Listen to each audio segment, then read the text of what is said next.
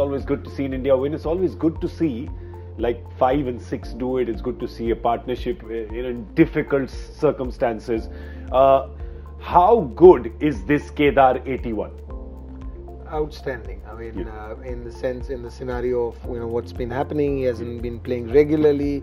They've been you know chopping and changing just at the cusp of picking the side for the World Cup it's brilliant because you know he's probably the only batsman because in the last few games that we've seen India play 2020. Yeah, you so he was not there in 2020. He has of course been there. So, the so you have six batsmen yeah. out of which four wicket keepers they can't bowl. So you know all the problems that India has also get solved if he is in this form. Yeah. And what he does brilliantly is that uh, over the years, if you see when he bats with MS, I think it makes MS's life very easy. Yeah. He takes a lot of pressure away, and they uh, gel together. They complement each other and the strike rate is fabulous as well today. Although you didn't need that, but when they came in, it was a tricky situation. It wasn't as easy as it looks at the end. But uh, both of them made it look very easy. Yeah, and they did this before as well in Melbourne. Uh, of course, that time positions were one higher. Uh, but they did that. They got that 100 run partnership in Melbourne as well.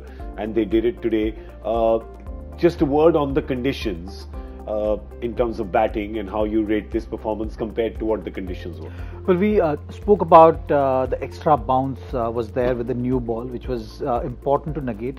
Unfortunately, after negating that uh, that phase of the match, India lost wicket wickets in cluster. Yeah. You know, the, they lost three wickets in in in about 20 runs, I think, and that's something which created that pressure scenario, that pressure situation and that was the only chance for Australia to come back. I think they did well with regard to that. Uh, Cummins, uh, especially Coulter-Nile, you know, they uh, you could see the the extra bounce, uh, which which created those uh, opportunities, uh, especially Rohit Sharma's wicket as well.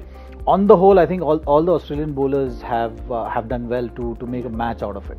You know, the the, the, the conditions were not that difficult, but when you lose wickets in cluster that creates that uh, that scenario of of uh, of pressure and that in turns uh, can create a, a, winning scenario you know yeah. that's that's something which was uh, very important and uh, both ms and, and kedar jadhav showed a uh, lot of maturity you know ms is someone who we know that consistently shows that uh, but uh, but uh, Ajay is right about Kedar Jadhav taking that pressure off MS as well because yeah. he was the one taking those those high risk options. You know, and actually, MS takes the pressure played. off Kedar because yeah. you know that that end is safe right? You know that you know, they, they Kedar both, knows that end is safe. They both are comfortable in in uh, in, in, pressure scenarios. Yeah, and they complement you know, Kedar each other. also, you'll you'll never see him rushed. Yeah. You know that's something which uh, which uh, which he has shown uh, so far in his career that he's he's able to soak in that pressure.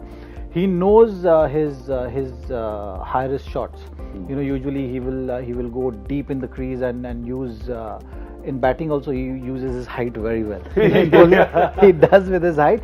Even with, with batting, I think you know he's able to get under the ball and uh, and and hit those pull shots over over the 30 yards. Yeah, that height it is slightly easier to get under the ball. and he bowls also a ball which nobody can get under because he bowls it from like four and a half feet. So altitude is a big play in Kedar Jadhav's game.